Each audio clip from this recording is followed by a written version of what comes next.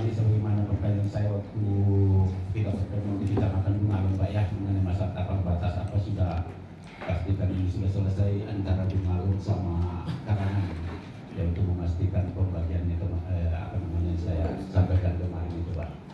Nah, yang kedua mengenai masalah harapan di tiap desa yang masuk dalam ini saya kira kurang lebih aja Pak harapannya tidak semua bagaimana supaya meningkatkan kesejahteraan masyarakat. Saya semuanya Pak. Di desa yang masuk di situ sama Pak harapan ke PT ALK.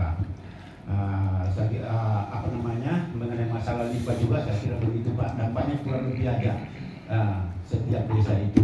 Khususnya juga sebagaimana dikatakan juga Niko begitu. Apa air bersih kami di Pengaden juga Pak. Sudah terbangun ini Pak air bersih. Harapan kita bagaimana supaya nantinya itu air bersih kita itu tidak terbukanya dalam lahan ini tidak tercemar lagi nah, sebagaimana yang kita kemarin laporkan ke DLA terus mengenai masalah PT Kelen itu Pak ya. Nah, jangan sampai jangan sampai terjadi lagi terulang lagi kembali dengan masuknya apa namanya ini PT ALK ini. Nah. dan apa yang dikatakan oleh Pak Kadis Sekerap juga tadi dari Desa Pengadan Pak ada juga sudah pun